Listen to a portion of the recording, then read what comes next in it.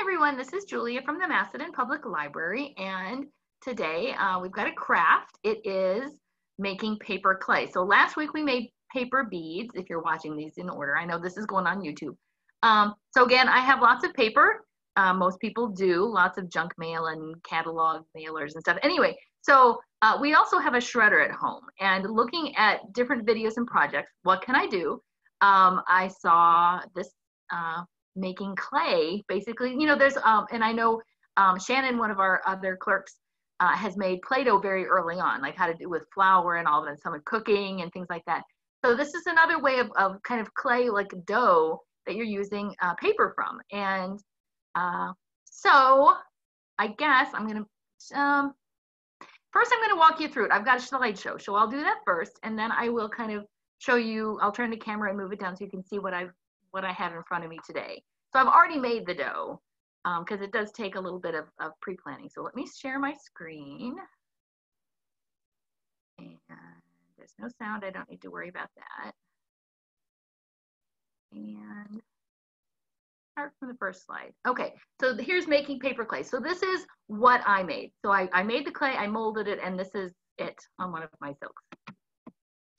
Um, there's a video that I can show you. Um, I can also come back to this later. So there's a really good video on how to do this that I use. Um, Red Ted Art is the channel. Um, I would play it here, but I'm afraid it might also load an ad, and I don't want to do that with the library, um, with recording it for the library. So, um, so the first step is obviously you get your paper. So you have, I have some in a little bowl here. I have a, we have a paper shredder. I've been going through a lot of uh, old records of things, old files from years ago that have just been piling up. So I've been cleaning my office, shredded it up. If you don't have a shredder, that's okay. You can just uh, cut or, or with scissors, just break it down into as small pieces as you can.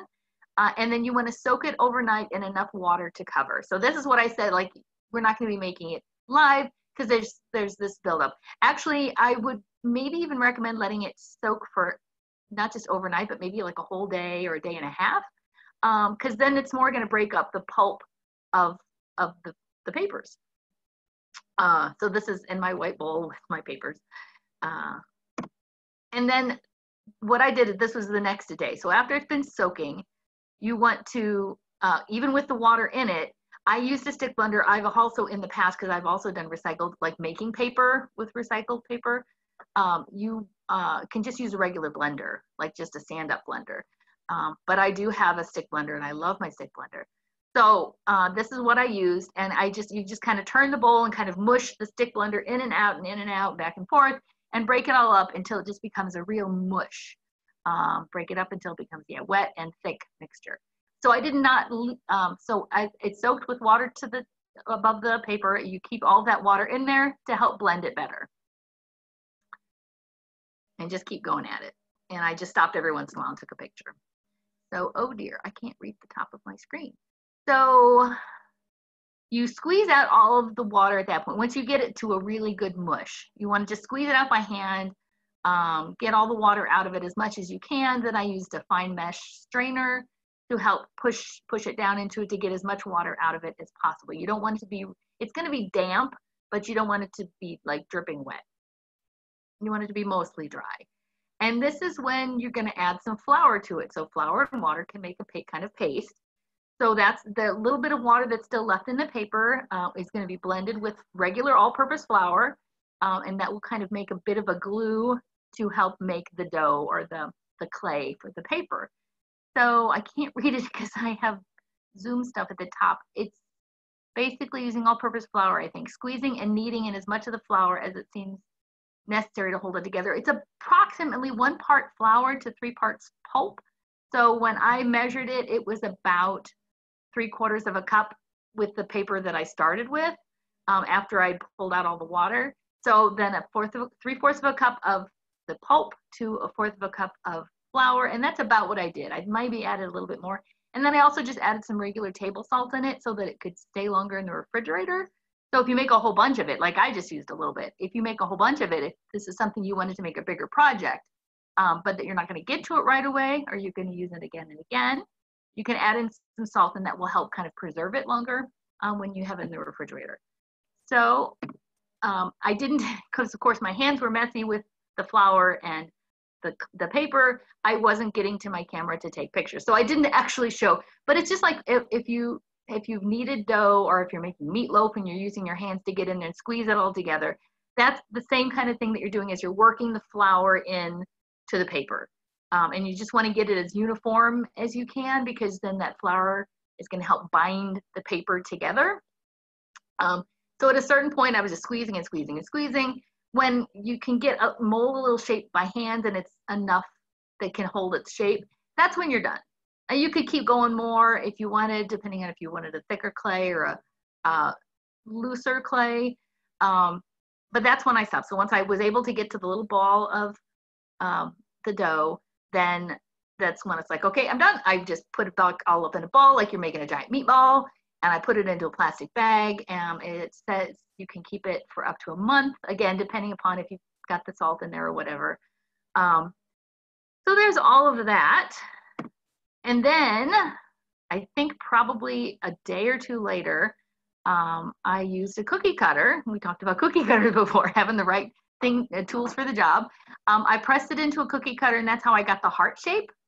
Um, you could also just freehand it. It's not going to be, it's not like a, a clay clay or a Play-Doh that's as smooth because of course it was paper pulp. I think if you let it soak in the water longer, it would break down even further or if you blended it longer. Um, mine is still kind of um, textured. So it's not going to blend, you're not going to be able to smooth it the same way that if you're making something with clay, you can get really smooth and nice, um, a little shiny. You're not going to get that with the paper. Um, that's just the nature of what it is. But when you get it in your shape, you just let it dry on an absorbent surface. I had a vegetable, like a, a I think is I had it on hand from ripening peaches last year um, that I got at Wegmans. So I just let it sit there until it air dried, and I think that's it. All right, so so that was basically the process. So now I'm gonna I'm gonna um, turn the computer camera down and show you my work surface. I'll show you what the paper shreds were that I started with. I'll show you what I've got at the moment. We're gonna mold something and then I'm gonna show you uh, at the end when it when my thing dried, um, actually as it was drying, I was wetting it again because I was painting it with watercolor paint. So let me turn this down. All right, so I think that shows up fairly well. Okay, so this is just a little bit, I just got it from my paper shredder this morning. Um, I think I have like the cross-cut kind of um, shredder. So it does make it into little pieces. Again, it doesn't have to be this small. The smaller it is, the better it will, the more surface area to break down. Um, so that's kind of what I started with. And then this is the ball that I took out of, here's the, the plastic bag. Um, this is what I've left with right now. And it's, it's it's kind of dry and cracky a little bit like it went again it's not like play-doh or like a smooth air dry clay that you can make a pot out of uh, it does kind of break apart and you can see the fibers which actually are pretty cool um, and the colors have all just melted together but it feels really good to work with very tactile um, if, if you had if you had little ones not the ones that are small enough that are going to put everything in their mouth but if, they, if you just wanted a new experience for kids to work with with their fingers, to, to do something different, they could make a little craft with or whatever, um, it feels kind of nice. And it's just paper and water and flour and a little salt. Okay, so what I'm gonna do, I'm gonna pull some of this off. I went and scavenged through our cookie cutters and I got a nice flower, which will be important next week for me because I'm gonna have a, a another YouTube video talking about flowers. And also I have another one, this one is kind of interesting. So um, I'm gonna, it's not like you with Play-Doh or cookie dough, you lay it out flat and then use the cookie cutter to kind of squish and get it out. With this, you're gonna wanna actually push it into the mold. I'm not sure I'm gonna be able to get the stem. Let's see, is this showing up? So I'm just pushing it down and this is an old laminate table that we're using in our dining room. Very old, that white with the gold mica flecks in there, but it's great for doing crafts. Great as a sewing table because it gets really huge uh, for laying out patterns. So I'm just pushing it down really, really hard, getting it into those edges. And I don't think I'm gonna try and do the stem bit because I'm not sure. I think that's too skinny. And I guess you could even let it dry in here for a bit. The more you press, the smoother it'll get. And it's nice and flat on that side. Pushing it through. So there we have a little bit of a flower. Oh, maybe I can freehand a stem. But you can do anything that you want with it. I, I saw um, the Red Ted Art, which is the YouTube video that I used as an example that I how I learned how to do this. Um, then takes this and then uses a bowl as a form and you can make a bowl out of this and let it air dry and then you have like a paper bowl so you can keep keys in it again it the stuff does get really hard oh so this is this is the heart that i did it's showing up this is the heart that i did before and then i just took my regular watercolor oh, regular watercolor paints and a brush um, and then i kind of did pink with a reddish image or reddish outline and then purple on the back and it's really hard and it's fairly light. So it's not really like a paperweight, um, but you could drill a hole. I guess you could even uh, push a hole in it if you wanted to.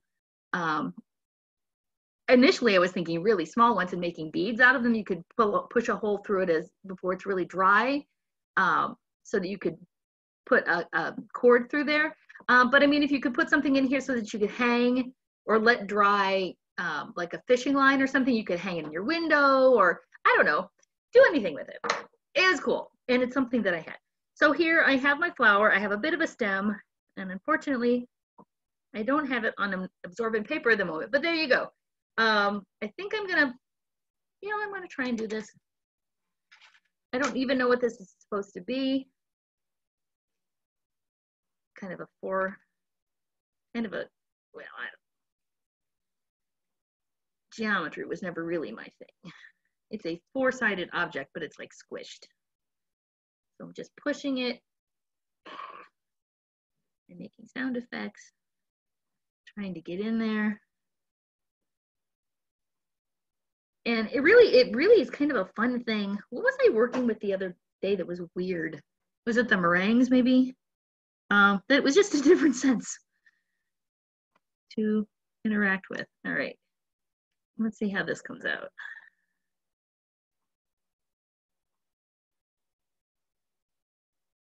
All right. So there's another one. Like, I don't know. Maybe you could make this into a, like a person. You could put like a little circle for a head up here and put some little hands and some little feet. I don't know. Anyway, it's kind of a fun thing. Or not. Um, so that's kind of it. So now I have this paper clay that's available. Um, I still have, even that I didn't use that much, I still have another like a handful. I'm gonna put it back in the refrigerator. Maybe I'll think of something else to do with it. Um, yeah, I don't know. It's something. And it didn't cost a lot. And uh, a quarter cup of flour basically is what it took. And then the paper that like from catalogs that I never asked for that still come to our house. Um, so so that's so that's really that's it for today. Uh, pretty quick program. Um, let me actually I can go back to that. Or if you just go to YouTube and if you search for Red Ted Art, R E D T E D A R T, um, has a really good video of showing you all the different steps of um, of as she does it, showing how long it takes to blend and whatever. Um, and then there's also the video of how if you wanted to make that into a bowl, you could either do it like you turn the bowl upside down and you can cover the outside of the bowl with it and let it air dry, uh, or you could put it on the inside of the bowl and press it down really well and let it air dry that way. Um, and then you can, she turns them, I think, into fruit. So I think one is like painted like a watermelon and the other one is an orange maybe. I don't know. Um, kind of cool. But yeah, you can do anything you want. So uh, if you try it, I hope you enjoy it. And of course, we're always looking for pictures, but that's okay. No, no expectation. Um, and I guess that's it. So hope you have a lovely day. Um, for me, it's a Friday, so also hope you have a good weekend. And I'll leave you there. Okay, bye.